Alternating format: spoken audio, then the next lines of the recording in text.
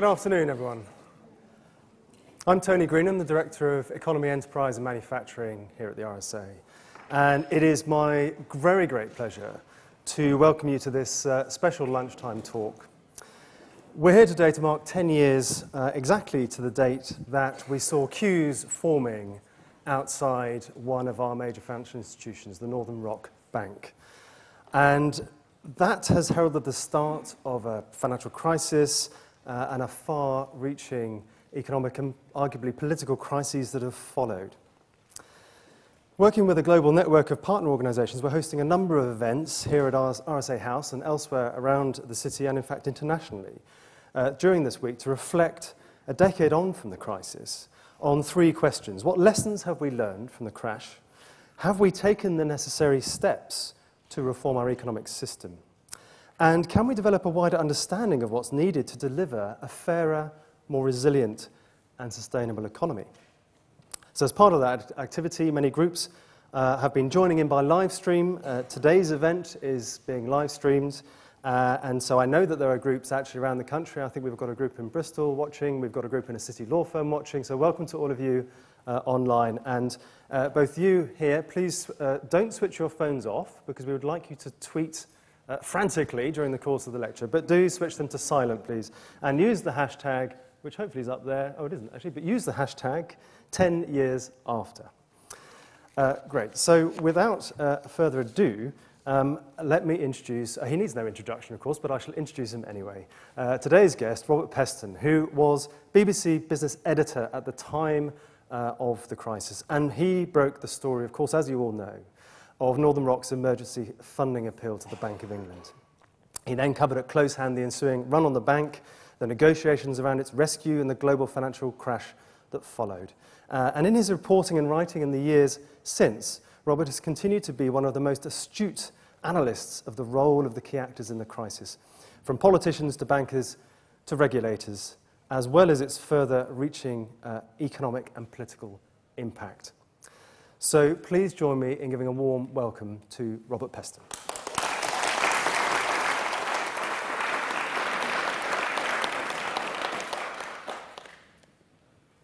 So, Robert, actually, um, you, you started uh, your career in journalism very early on. You became a banking uh, correspondent mm. and an editor, so you are a banking specialist. So, uh, would you mind starting, perhaps, before we get to the events of the 14th and the 13th and 14th, just explain to us quickly what went wrong with Northern Rock? What was the underlying problem with that bank? Um, so I first started taking an interest in Northern Rock in 2003 when I was city editor of the Sunday Telegraph.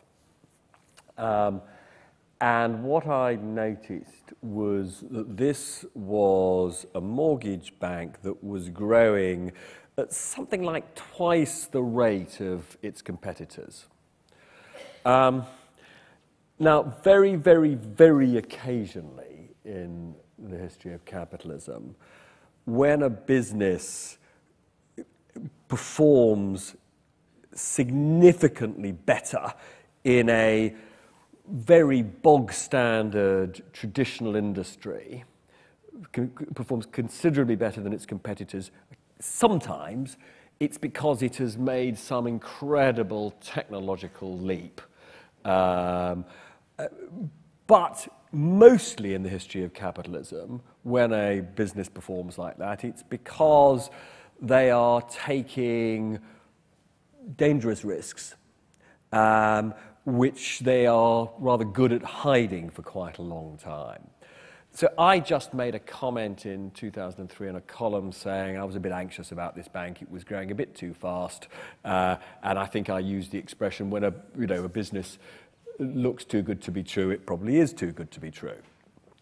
Um, now, for years, uh, you know, I looked like a blithering idiot because uh, Northern Rock continued to grow faster than other mortgage banks. Um, and its share price went up and up and up. Um, uh, until August the 9th, 2007, which is the date that I and many other people use as the start of the financial crisis.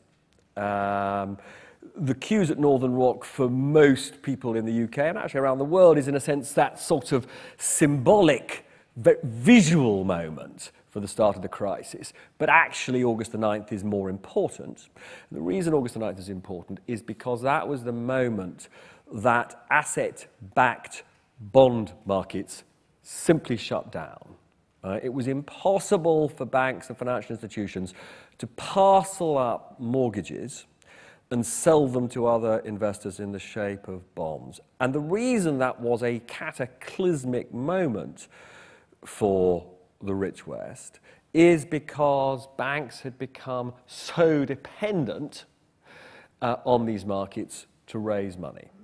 Um, uh, they were, you know, in this country, not much of Europe, particularly in America, though, uh, you know, a, an incredibly important source of finance was parceling out mortgages, selling to investors in the, in, in, in the shape of bonds. Now, those markets closed down because belatedly, and I say belatedly, and I think many of you will know this story, but, but you know, and, and it's been told rather brilliantly in a film called The Big Short and a book called The Big Short, which I'm sure many of you know.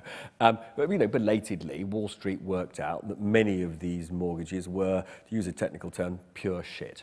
Um, you know, they were loans that were never going to be repaid. And therefore, unfortunately, you know, the, if the mortgages were pure shit, so were the bonds. Um, and the problem was that it was impossible to actually know which bonds were safe and which bonds were worthless. And therefore, you had this extraordinary thing, and it really was extraordinary, um, which was investors just decided because they couldn't tell the good from the bad, they weren't going to touch any of them. And so these markets shut down, and that deprived banks of a source of hundreds and hundreds and hundreds of billions of pounds worth of funds.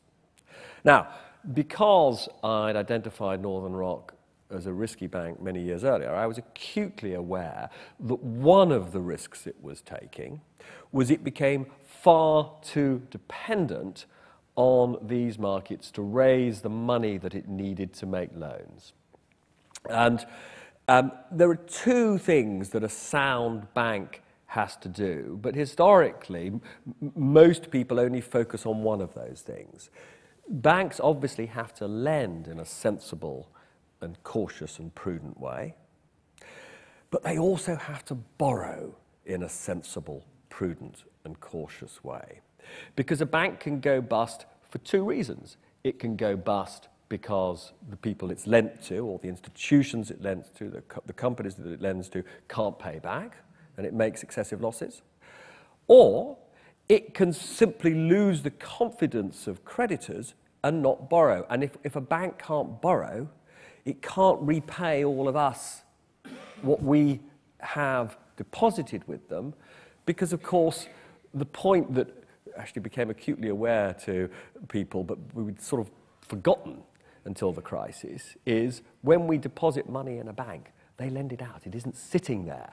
So if a bank can't borrow more money and we ask for our money back, it's bust, right? So when markets close down in that way and a bank cannot borrow money, it is bust. So on August the 9th, markets closed down. And at that point, uh, I knew Northern Rock because it was more dependent than other British banks. All British banks were in some way using these markets and other British banks were pretty dependent, but Northern Rock was the most extreme case of a big bank being dependent on these bond markets. And so I knew on August the 9th that it had a problem. I wrote a big column on August the 9th talking about why this was a cataclysmic moment for the world. It's one of the bits of journalism I'm sort of proudest of because actually, curiously, it was not something that most journalists identified at the time. Um, and I also then a few days wrote, later wrote a little piece saying, and by the way, one of the, institutions, I'm, I'm, you know, there was no secret about what I was doing. I said pu very publicly, I'm keeping an eye on Northern Rock because Northern Rock has a particular problem here.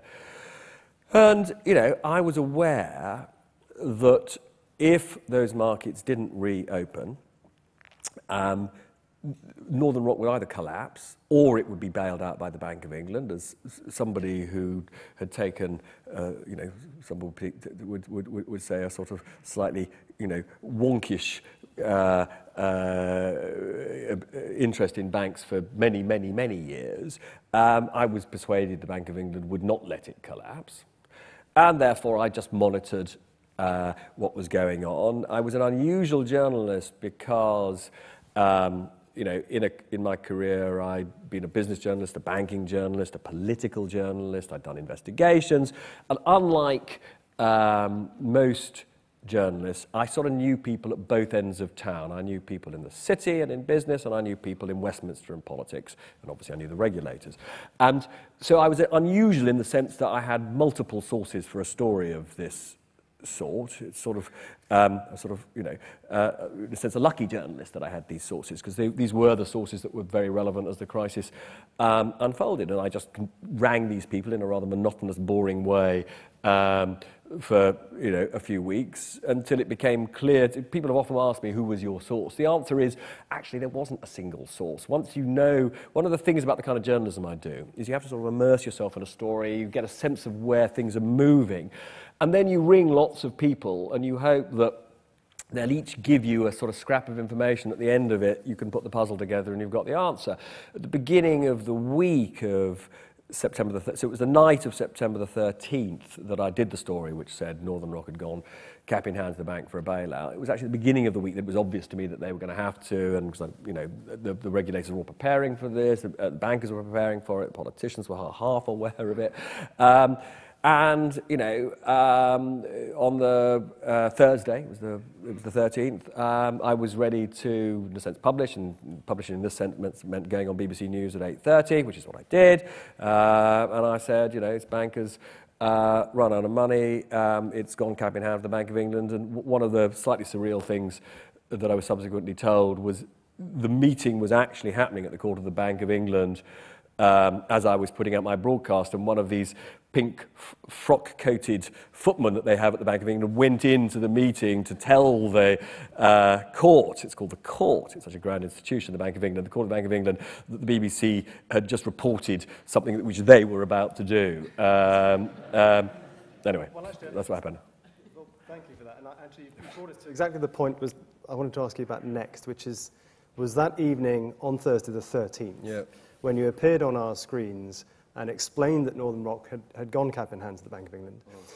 Um, now, you, you made a point, I remember, of saying that you didn't think that depositors needed to be worried. Yeah. so, um, now, you, you have subsequently been accused by, by all sorts of people, and I noticed Alex Brummer had a poppy on Newsnight the other night yeah. as well on this, of actually causing the run. So I'm just interested as to whether you had a moment of, you know, as a journalist, did, did, you, did you have a sort of process of, mm, you know, is there a public interest dilemma here between me doing my job as a journalist and me perhaps keeping quiet and letting the court of the bank and the, and the, and the authorities sort of sort it out? No, actually. I mean, so um,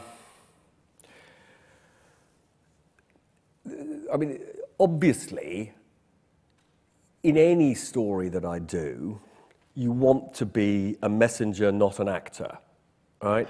I don't, I've never done journalism to, as a propagandist or to shape events. I try and give information to people so that they can make up their own minds. Now, you know, I have to be honest, there are times in my life when I see people doing things so spectacularly stupid that it is very, very hard to be uh, impartial. Um, you know, I might have faced a few of those challenges in politics over the past year or so.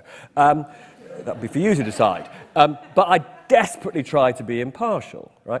But this was, this was not a, a situation where it was about impartiality. This was a situation where I was aware that a very important financial institution was in difficulties And the only circumstances in which I could have withheld that information would be actually if I departed from what I regarded as the role, the fundamental role of a journalist like me, which is to give people the information they need to make up their own minds about what to do in their own lives. And for me to withhold information that, in my view, was palpably in the public interest um, would have been actually, in my view, the end of my career as a journalist, um, because I would have been making a value judgment about that somehow, you know, I would have effectively saying everybody in this room um, was simply too ignorant to know what to do with this information. Um, and that would have been playing God rather than just being a sort of proper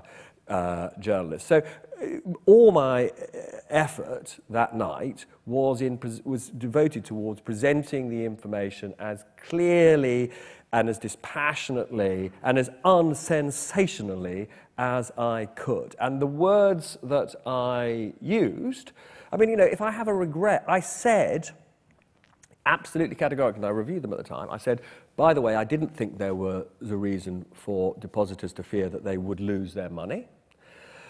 Um, and I also said that um, I did not believe that the bank's loans, as they were currently constituted, were significantly bad. Right? Um, and I actually said something else, which is that with the Bank of England stepping in, that was a sign of the authorities' confidence that they could keep this thing going. Right? Anyway, um, you know, uh, Alex Brummer makes, makes this, I think, really odd. I mean, he repeated, he, he wrote about it He's the city editor of the uh, Daily Mail. Nice man. I mean, you know, but, but, but, but, but I, on this, I just think he's a bit weird. He, he, he wrote a piece at the time saying, that somehow I caused the, the, the, run because I seemed a bit nervous. Um, and, and he repeated that, and then he interviewed me on Newsnight the other day, and, and, and um, he said it again. I, he said, I believe that, you know, Robert Peston caused the run because he seemed a bit nervous. Now, actually, I don't think I did look particularly nervous uh, uh, in, in, you know, uh, the multiple broadcasts I did that evening. Um, uh, what actually happened was that I broke the news. Um, so there were a number of things that I'm afraid I wasn't aware of that meant that Northern Rock was more vulnerable to a run than many other banks. Now, the reason it was vulnerable to a run was, first of all, that it was a bank that was to a large extent an internet bank, right?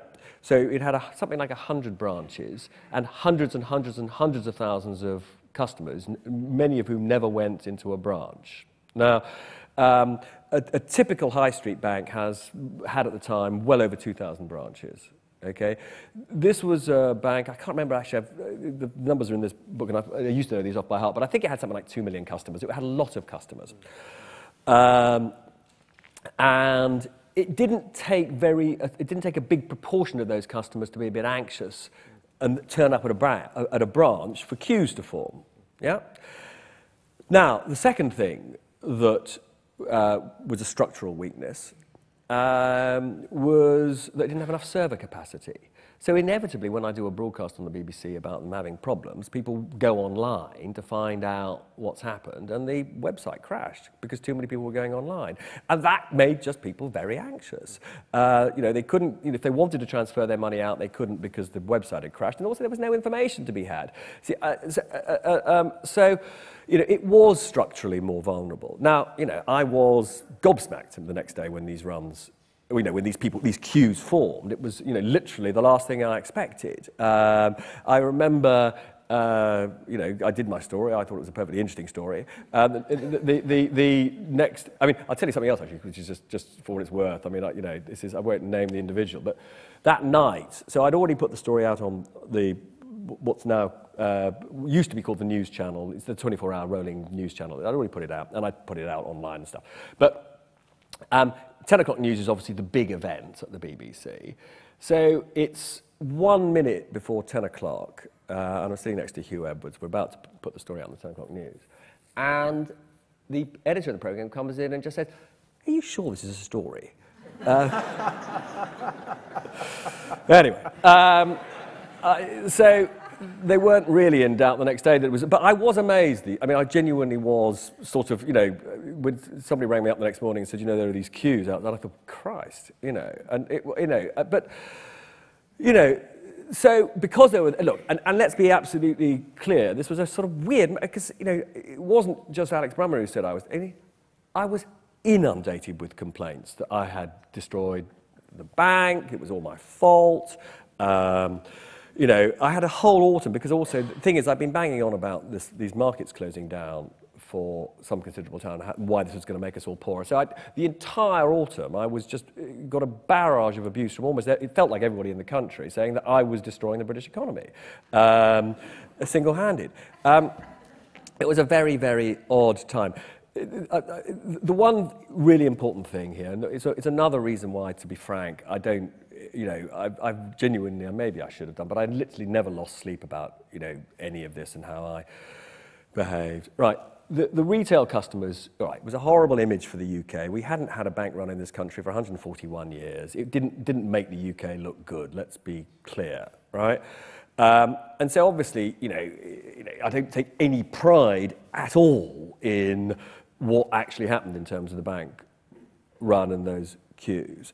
But we should be under no illusion that it was not those depositors that did for the bank. What did for the bank were the other banks and institutions who had already withdrawn money. The, the run started before my broadcast, right? The reason they went to the Bank of England cap in hand was because the clever people who were in the know about what was happening at Northern Rock had taken their money out. It's another reason why I have never had a moment's doubt that the British people had a right to know what was going on, because, you know, it is, it is the opposite of what a democracy should be about, that the people who happen to be in the city know about the risks, and the rest, and the ordinary customers didn't know. So obviously it was in the interests of the millions of people who saved with Northern Rock to know what was going on. And ultimately, they're taking their money out. They took out a few billion, right? The institutions and the other banks took out something like 50 billion pounds from Northern Rock. It was the institutions that killed Northern Rock. It was not the savers. And, and, they, and they would have taken their money out whatever I had said that night. They were taking it out already, is the point.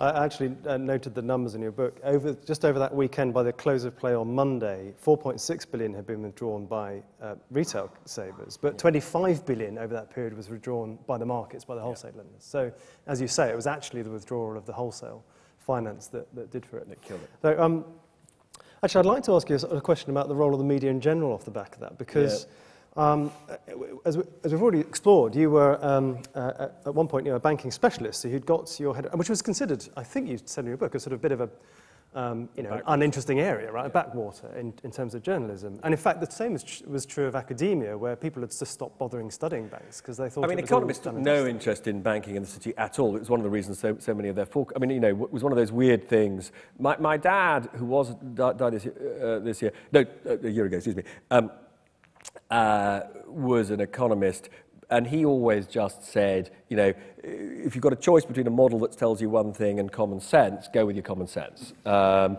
and uh, you know, I don't think of myself, I mean, I take an interest in economics, but I don't think of myself as an economist.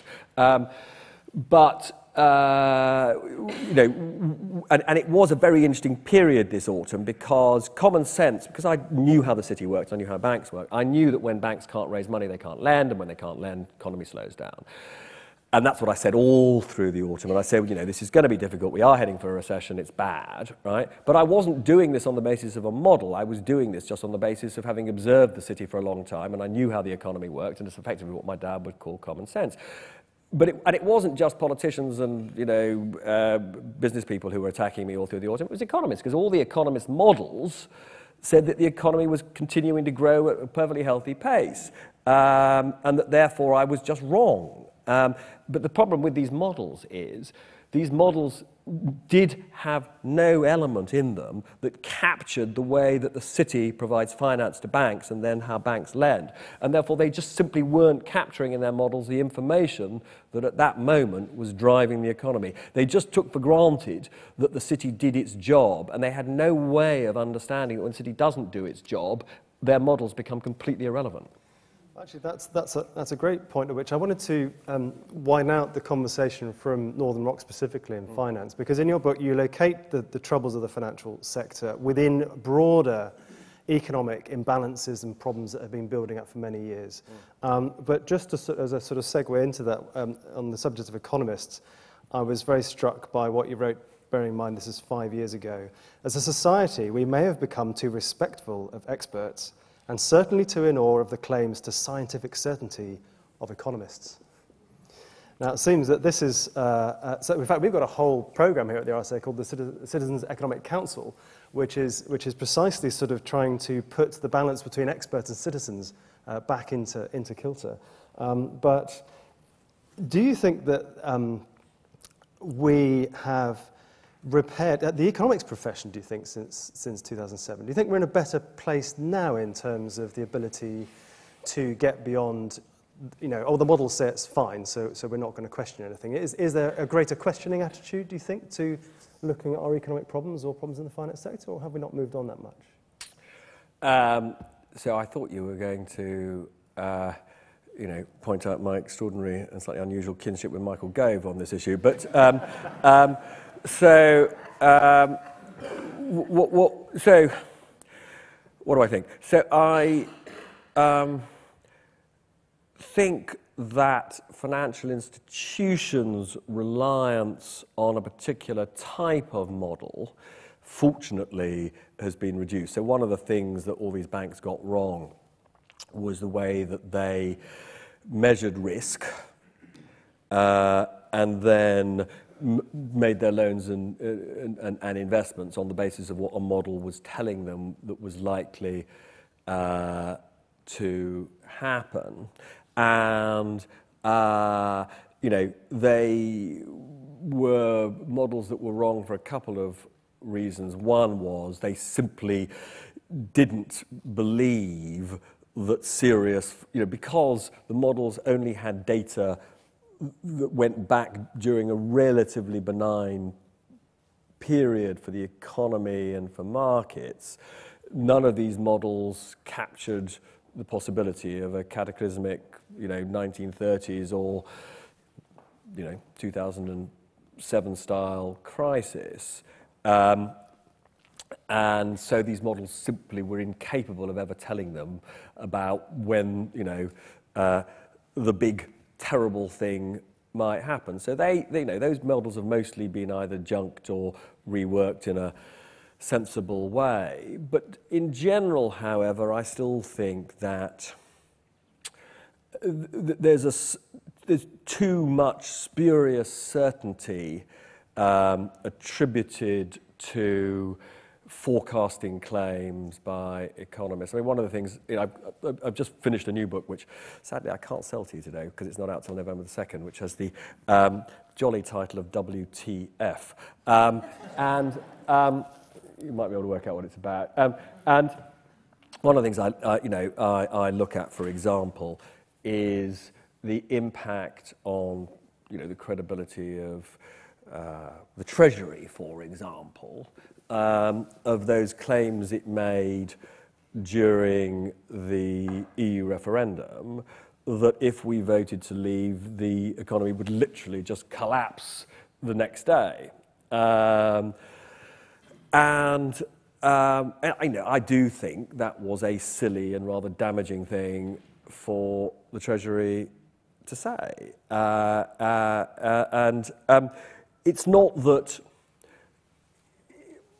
I mean, my own view is there, there is already and will continue to be quite a big economic price to pay for leaving the EU. I said that during the campaign and I continue to say it.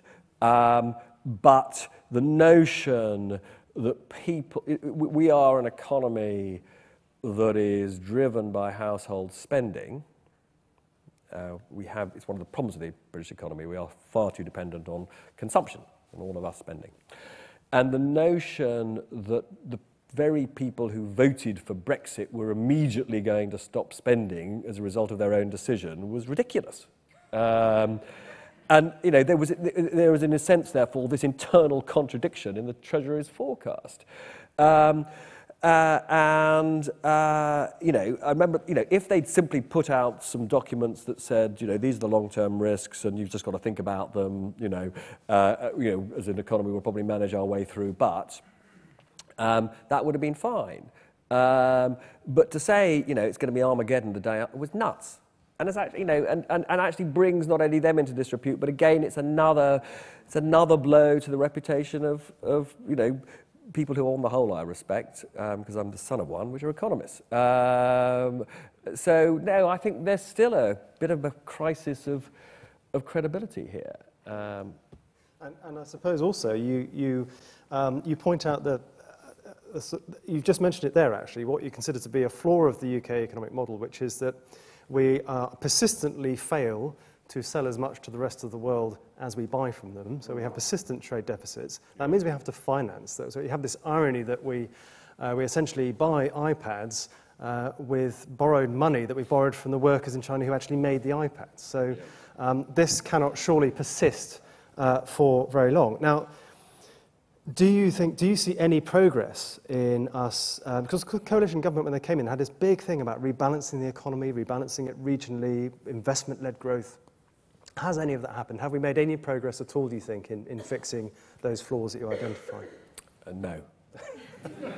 I mean, and, and, and actually, so look, I mean, uh, I, quite often, in some ways, I hate doing uh, these sorts of sessions because you know I end up feeling gloomier, you all end up feeling gloomier. It's you know nothing really changes. Um, uh, so um, a big, um, you know, a big cause, underlying cause, and, and, and you all know that there's been causes and triggers. Um, so the trigger of the financial crisis was the closing down of these markets on August the 9th. The underlying causes were the extent to which the rich West became more and more indebted over a period of many years because you know we were making much less and selling much less to the rest to the rest of the world than we were consuming. And inevitably when you consume more than you earn your debt goes up. Yeah all makes sense? Yeah.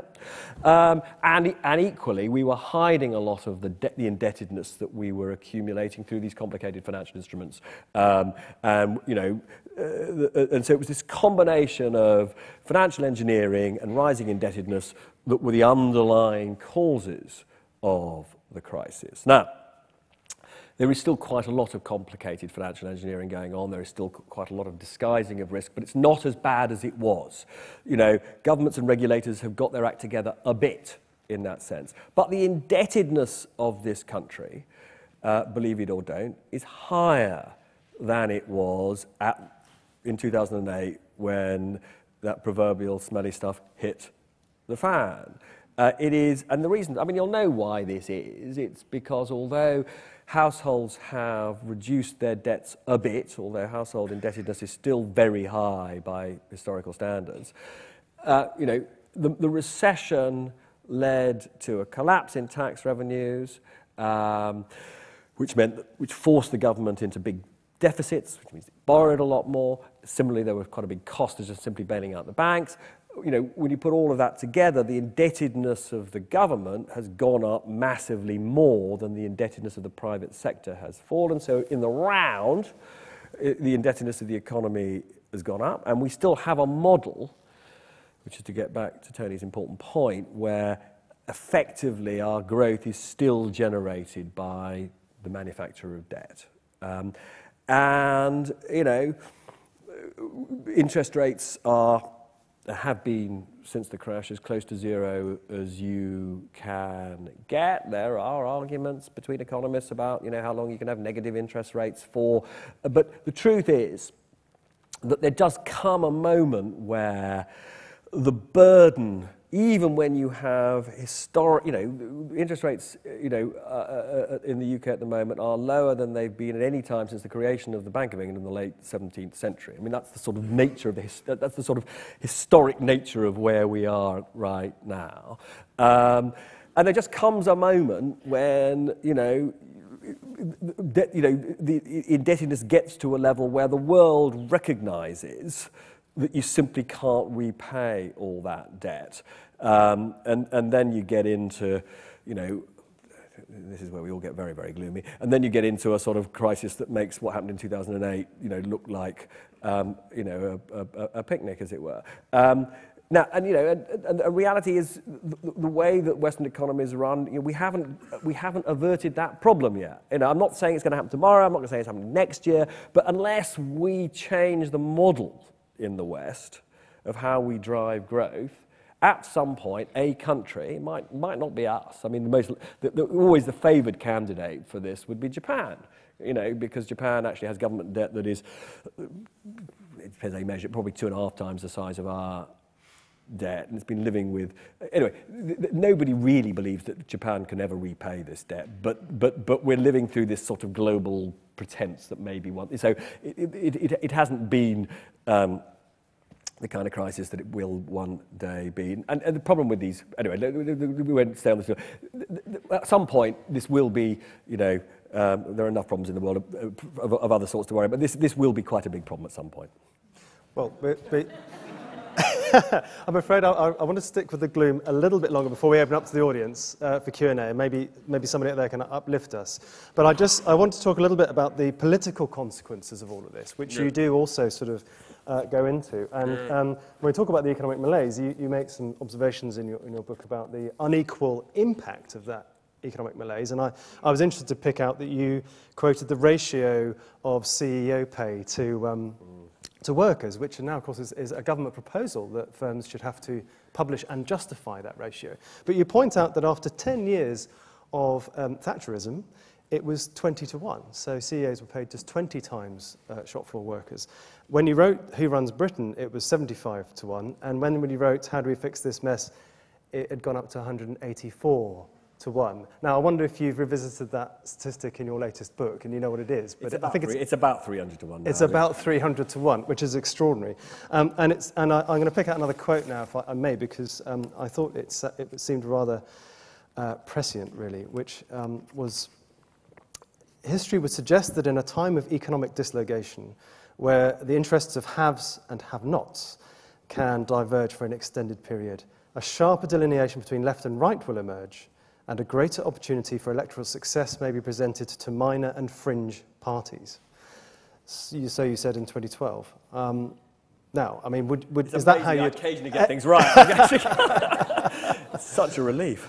Um, but, but I just want to test to what extent. So there's a sort of narrative that says actually you can explain Trump, Brexit, all, anything that you don't like almost, I suppose, uh, uh and you can trace its roots to the financial crisis. Is it really? Really? No, no, I don't. I, so I, I, think that. Uh, so I think some of. Um, so, so the new book is, um, as I say, it's called WTF, and it's about why in the rich West um, voters are not behaving the way that the establishment has expected them to behave. It's, it's, it's, you know, it's why they've turned on the establishment and why they've chosen Trump, why they voted for Brexit, why we had the Corbyn surge, why they went for Macron in France. And there are lots of other manifestations of voters simply saying, we've had enough of the lot who've been running this place for the last 30 years. And that's what the book is about, trying to explain that. And some of it is a direct consequence of, you know, those events that began in 2007, the financial crisis, because some of that uh, rejection of the establishment is because living standards for millions and millions and millions and millions of people um, are lower than they were in 2007. And if they are higher, for millions of people, they're only a tiny bit higher.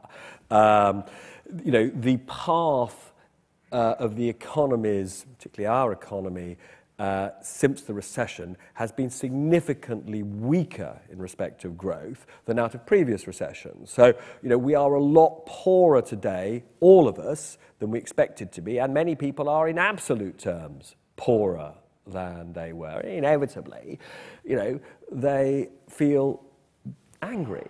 But it's not just that. I mean, you know, there are, there are lots of other things going on. Um, in places like America and Britain and France. It's also the incredible regional, um, the, the, incredible difference in patterns of uh, growth uh, and in prosperity between different parts of the country. So, you know, we live here in London, in a part of the country that has done consistently well over many years and continues to do pretty well. Um, there are obviously issues for young people about being able to afford to live in London. I'm not saying London without, is without its problems, but living standards here are, you know, so much higher than they are in the northeast uh, or, and in parts of the Midlands and, and, and, and you know, uh, in many other parts of the UK. So there are these regional inequalities, and you can see those regional inequalities um, in the States as well. And typically, the people who voted for Trump or voted for Brexit were often, particularly white working class people, um, whose economic performance has been pretty awful over the next few, the, the last few years. And they feel angry. Some of that is the financial crisis, but some of that predates the financial crisis and to do with other things. It's to do with things like the neglect of manufacturing. It's to do, you know, with this sort of myth that somehow if you simply had a pockets of excellence like the city, it would lift up all boats. Turned out to be bollocks, again to use another technical term. Um, the, uh, and, and we also were naive. I mean, people like me were fantastically naive about trends that were palpably in the interest of the world as a whole. Um, you know, people like me, and I was broadly for quite a long time a cheerleader for globalization because it was, you know, some, I wanted, you know, immersing myself for years in what was happening in China. Um, and, you know, when you've seen over many years hundreds of millions of Chinese people being lifted out of poverty by these global trends, it's impossible not to think this is an incredibly powerful and good thing for the world. The problem is that if you happen to be a not very well off person in the Northeast, and over an extended period, and the statistics show that this is absolutely true, that while um, you know, the Chinese have undergone this revolution in which living standards have, you know, improved by hundreds and hundreds of percent, but actually your living standards over, you know, 15, 20 years in parts of America and parts of the Northeast have basically flatlined, you think, well, globalization is great for the Chinese, but it's done fuck all for me. And, and, th and that doesn't give you a nice, warm feeling. Um, and again, we, we were just very naive about, um, you know, how long people who were plainly losers from globalization would tolerate this. Well, I suppose I'll, I'll come to the audience now, but perhaps in an attempt to, to lift our spirits, I suppose it's worth mentioning that over the last year and a half, the RSA, we, we've run an extended program work on inclusive growth, and this has been championed by the OECD, and it seems to be becoming part of the narrative now to recognize that we must have an economic strategy which will speak as much to people in the Northeast who are not well off as, as, as everyone else. So uh, let's hope that that continues to take hold. Um, but now it's time for you to ask some questions. So we'll have a group of three questions. Please um, do, uh, before you ask the question, say who you are. And uh, we've got three. The first, uh, let's start at the back, if I may. Hello, I'm Rebecca Green Party. Do you believe in exponential growth being good? Straight, straight into the jugular there. Um, the gentleman on the, oh, I'm sorry, I'm really making the people with the mics work. I'm picked all the people at the edges. Sorry about that, microphone uh, helpers. And then the, the, um, uh, the gentleman over there, who very strategically is using his copy of a magazine to gain extra height and has caught my attention. Um, oh, hi, it's uh, Paul Pritchard. I should probably start, or Robert may think I need to start with the mea culpa because I actually was on one of the FSA Basel working groups for a number of years before 2007. So, but leaving, leaving that aside, fault, leaving that aside, um, the decline in trust in institutions isn't uh, confined to financial services.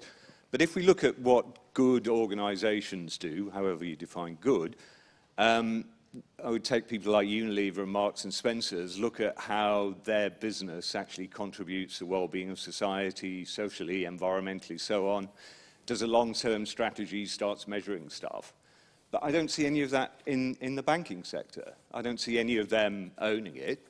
Um, either as a group collectively, you know, the City UK organising something, or even one trying to differentiate itself by saying, you know, look, we're the one for the future. We're supporting decarbonisation. And okay. I wondered what you thought about that. Great. And then the third question was the gentleman over there. Thank you. Uh, John Bailey. Um, is, it, is it rather surprising that all those organisations that demutualised only five minutes ago have all failed?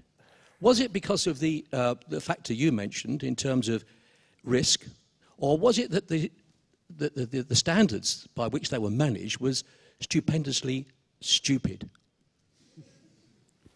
Um, so, exponential growth in a world of scarce resources, I mean, I would accept that it's not um,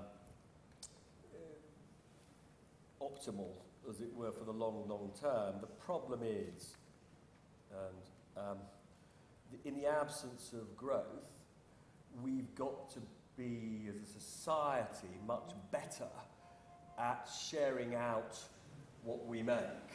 Um, you know, and, and uh, because we, on the whole, have no history of doing that voluntarily, on any great scale. What we're really talking about there is you know, the need to put up taxes, both income and wealth taxes, very significantly. And the British people don't yet seem to be quite there. Um, but that is the choice. Oh. Uh, that is the uh, that is the choice that we face. Um, which is in a world of low growth, um, uh, you know, we either have to accept these terrible inequalities between rich and poor, and indeed there are all sorts of reasons to do with technology why those inequalities are almost certainly going to get a lot worse. Um, uh, but even with those widening inequalities, there's not going to be, the cake itself is not going to get much bigger. Um, uh, you know, and so we've either got to accept a very unfair society, and also probably a society where public services aren't what we expect of them, or we've got to accept that taxes are going to have to go up very significantly.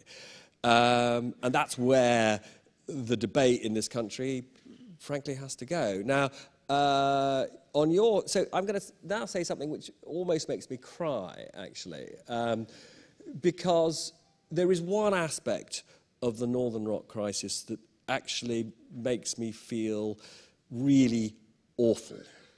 Northern Rock took these mad risks as a bank, but it behaved in terms of its community impeccably. Right? It put a certain proportion of its profits into a charitable foundation, which gave away in the northeast I can't remember in total, I think it's in the end hundreds of millions of pounds, right, to really good causes in the Northeast, right? So it behaved in, a, in, in, terms of its social responsibilities in the way that all companies, in my view, should behave, and none do. Right?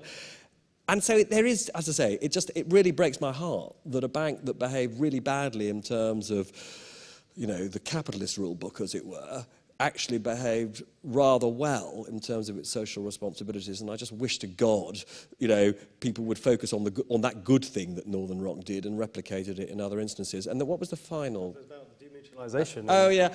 I mean, look, it was a combination. You know, there were some bad managers within, you know, you, you, you'd essentially take, in many cases, not all, but you took, building societies are uh, relatively easy businesses to manage because they are so they were so restricted in the way that they could raise money and lend money. And, and therefore, quite often, there was a problem of quality of management because quite often you took managers who were managing quite a simple business who then got very overexcited, encouraged often by bankers in the City of London to take on all sorts of other risks. And, you know, so it was, it was a sort of combination of poor quality management, the city misbehaving in terms of encouraging in some cases, not very talented managers to, you know, behave in ways that the managers and boards didn't properly understand. And, you know, the, the, I'm afraid, uh, you know, the result was um, sad. Um, I mean, and, and, and all credit to the Nationwide, you know, which didn't demutualise, still a bloody good organisation. Well, and, and to add a note of positivity, actually, as I was telling Robert earlier on, there, we hosted a meeting this morning um, uh, of a fellow-led initiative to set up new regional mutual banks with a uh, social conscience, as it were, that we could perhaps act more like in the way the good part of the Northern Rock and recreate that. So uh, there are, I think, signs that we could have new banks emerging that, that, that's perhaps a, the sort of banks you, you were describing you'd like to see. But let's take some more questions. So, uh, gentleman in the middle, um, the lady over here, over at the front, and then uh, perhaps we'll have um, the gentleman next to him just to make it a bit easier for the mic to travel around, because we've only got one left. Thank you. Um, David Walker, I'm an economist but now broadly retired. Um, you talked about uh, Northern Rock going bankrupt, but wasn't it really just a liquidity crisis because most of the loans, the long-term loans, have turned out to be very good and form the basis of, I think, Virgin Bank. And so it must be incredibly unfair and inequitable that the poor old shareholders got wiped out. Mm. This was, of course, referred to on a Sunday programme of, I think it's um, somebody has, and I think you were on, about, and we heard um, a, a plaintiff key, key, um, plea from a shareholder who's active saying that you know, they, they really felt very badly treated indeed. So what about the shareholders? And can we get the mic down to the bottom here? Um, sorry, the front row here. Lady on the far left. Uh, just a brief question. Uh, do you agree or disagree with Matt Ridley that there's too, too much regulation of the banks and he thinks there should be even less? I, I should mention that Matt Ridley was the chair of Northern Rock at the time it collapsed, right? And that was the gentleman two, two over just seeking out the, the more positive part of the agenda. In your researches and discussions for your future book, um, what uh, trends or themes have you picked up that might give us sort of more confidence that we can get out of this mess? Great. So, what about the shareholders? What about Matt Ridley? And what are the signs we can get out of the mess? Um, so, I always slightly get my hackles up when somebody says it was just a liquidity problem. Um, you know, the, one of the fundamental things that banks have to do is manage their liquidity. I mean, one of the things that they consistently failed, one of the reasons we had the mother of all financial crises was because consistently banks forgot the importance of liquidity, of borrowing from sources that you could rely on, having a, a greater proportion of their liabilities in the form of cash, uh, managing the term borrowing you do in a more appropriate way. You know, basically banks behaved as though, to use uh, an expression which has become slightly well known in a different context, there was a magic money tree. Um, and, you know, the, again, the history of capitalism proves that when you do behave as though there's a magic money tree, you know, bad things happen. So I don't really buy the argument that it was just a liquidity problem. Northern Rock knew the rules. The rules at that time were that if you went to the Bank of England for emergency liquidity assistance, at that point, by definition, you had failed as an institution, right? That was just what the rules said. You were in the hands of the authorities at that point. Now, obviously, so, and the, so, so two or three other points. If they hadn't been uh, uh, bailed out, they would have been forced into a fire sale of their assets, and indeed, you know, they would have been completely insolvent right? Because they would, you know, those, the assets that they owned would have been sold at a knockdown price. Um, now, as it happens, taxpayers stepped in and bailed them out, and it was the taxpayers' provision of our money put at risk which gave, them the, gave the government the space to hold those assets to maturity. And it, you, may be right that at the end of the day, um, they may end up, the, you know, the, the, the um, government may end up with a profit uh, if all of those bank, all of those loans are eventually over 20, 30 years repaid, or if they manage to sell those, those, those, those parcels of loans at book value, which and it looks as though that is going to happen. But again, remember, it wasn't that long after the crisis that the government, on the way that you assess um, the capital requirements of banks and the value of the portfolio, the government, we taxpayers, had to put some capital into the bank. Not the private sector, we did as taxpayers. We put money into the bank. So my br- broad view is, although, of course, I have enormous amount of human sympathy with any shareholder who ever loses money in any situation, but particularly in this situation because these shareholders did not understand the risks that their bank were taking. And I think that's sad and awful that they didn't understand. Unless we are going to abandon capitalism in total, you cannot have a world in which some share. The, the point about buying shares is you ought to know when you buy shares that there is a risk these shares will go to zero, right? That is the nature of buying shares. And I don't think there is anything in this case, I'm afraid to say, which persuades me that this lot should be bailed out when lots of other shareholders have lost a ton of money in other circumstances. And it's awful and it's sad. Um, uh, but I, you know, I just think if we want to have a capitalist you know, PLC-based system of the sort we have, then these sort of rather awful things periodically have to happen. In, in terms of regulation, so my view would be that, curiously, if we had um, simpler banks, but also we had a cultural shift whereby people like us thought that it would be acceptable to lend money to a bank, but if the bank did a stupid thing, the money we deposited, our savings, would not be protected 100%. Uh, you know, if we were prepared to suffer the fate of those poor Northern Rock shareholders, not with money invested in shares, but with our savings, then you could, of course, have simpler regulation. Um, because, you know, in those circumstances, you could treat banks like any other kind of institution and you would allow them to compete. And if one failed, you simply wound it up and, you know, the, the, the poor savers would, you know, only get whatever the assets would uh, realize. But actually, as a society, it's perfectly clear that we don't believe it's proper for savers to be able to lose money, and therefore regulation, if anything, is you know it's certainly there, is, there certainly isn't too much regulation, and there are some reasons for saying that we still haven't restructured the banking system in a way that is adequate to provide sufficient security. And you know, I find it very difficult to believe there's too little regulation. And then there was finally a question was whether I could say anything um, uplifting. Um, well, so I mean, I, don't, I mean, it's two things. One is I'm not really here to talk about the book, and there is quite a lot of, in the book about the kind of policies that we need and the kind of choices we need to make um, to get us through what is a very difficult um,